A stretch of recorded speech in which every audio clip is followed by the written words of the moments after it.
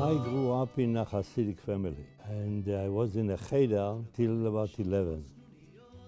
At 11, my father took me out from the cheder and put me in a modern religious school.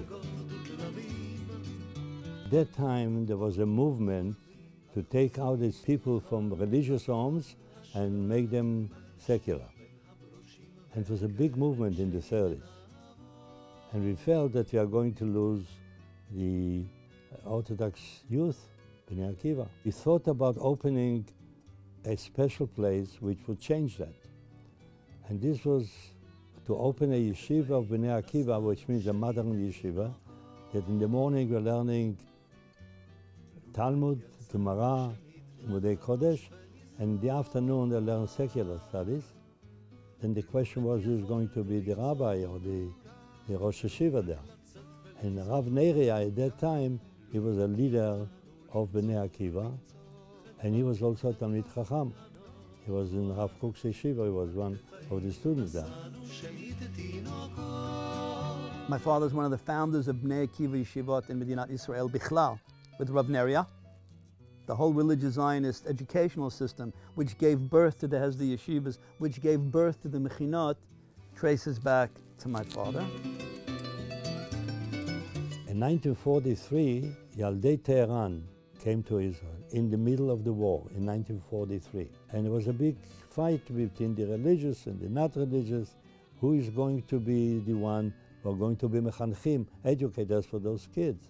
I was asked to come to Kfar Noar Adati, which was a center of these children to decide where do they go and which institution is going together. I didn't know my mother was a Holocaust survivor until I was like bar mitzvah. I thought she was Israeli. My father is a sixth generation Yerushalmi. My mother is Mrs. Shoah, but she's also Tkuma. I gravitate towards the Tkuma part. She knew history, European history, world history on her fingers. She didn't have to have a paper to look up. I can't tell you how many people wrote letters to us or called up about her. She really uh, changed the world of understanding the Shoah more than many others did.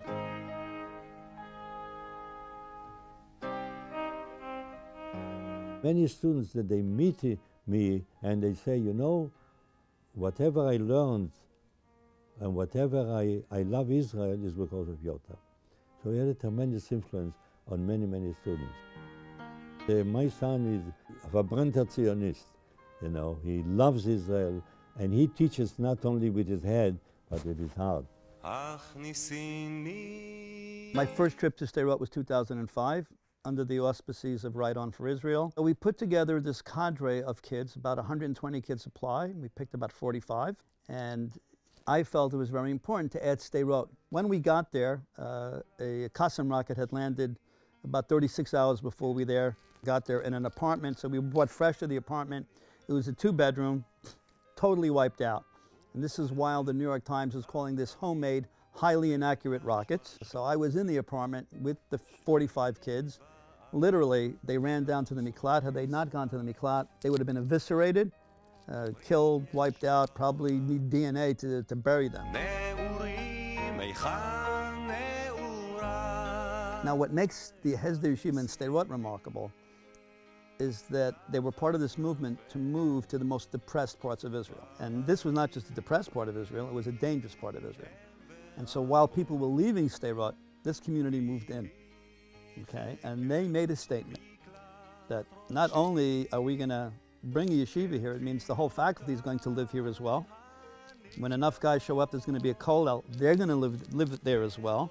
And they brought this whole Garin Torani, Tzioni, to live in Sderot, which now is you know, a whole neighborhood.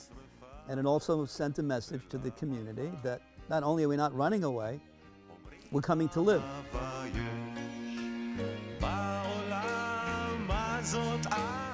The past that I came from a Hasidic home didn't leave me. I'm still, I'm still there. It's a good shidduch between what this family stands for and what this yeshiva stands for. We are happy and proud to really uh, support the yeshiva. It's not about being honored, it's about wanting to lend your name to a, a, a new institution that stands for everything we, we, our family believes. I think we can say that in my mother's name.